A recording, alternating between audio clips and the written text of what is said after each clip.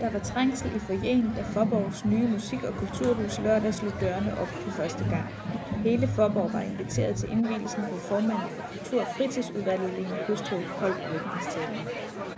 Jamen, jeg, jeg håber selvfølgelig, at det er et sted, øh, der vil komme til at summe af masser af liv øh, og rigtig mange forskellige aktiviteter. Øh, der er kommet to sale nu, der er øh, kommet et mødelokale, og der er kommet en super dejlig foyer. Øh, så jeg håber, at forborgenserne har lyst til at komme til rigtig mange forskellige ting og i forskellige anledninger. Og vi har blandt andet både musikforeningen og barforeningen, som helt sikkert nok skal sørge for at få stoppet noget liv i.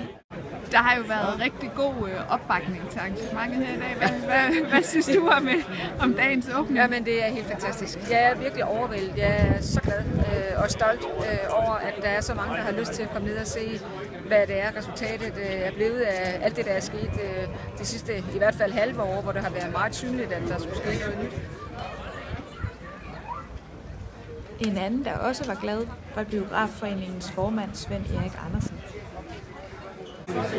Jamen, jeg er da fuldstændig øh, lykkelig for at øh, se så mange mennesker. Nu har jeg stort set gået her alene øh, i øh, et par måneder og, øh, om aftenen og øh, på alle mulige forskellige tidspunkter. Og så pludselig så vælter det ind i dag. Det er sådan en dejlig solskinsdag også. Og øh, det er jeg helt overvældet og glad over. Blev I øh, fuldstændig færdige til åbningen? Vi blev ikke så færdige, så du vil ikke kunne opdage, hvad der mangler. Jeg ved godt, der mangler lidt hist og pist, men det er der ingen, der opdager. Og jeg siger ikke, hvad det er.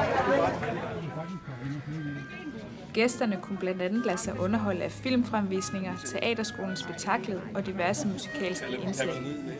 Den officielle åbning finder sted i morgen søndag for særligt inviterede gæster.